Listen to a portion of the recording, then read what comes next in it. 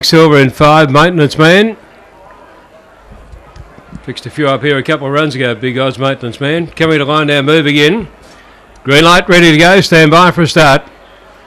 About to run race 10 there, set. About to go.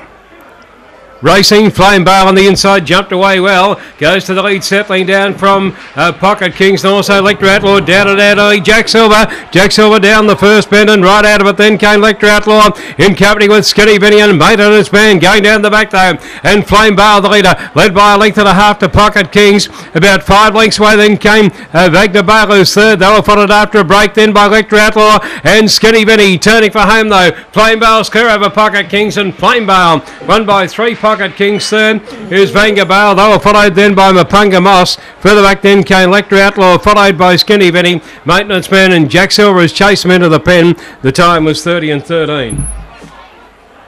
Stand by for numbers here on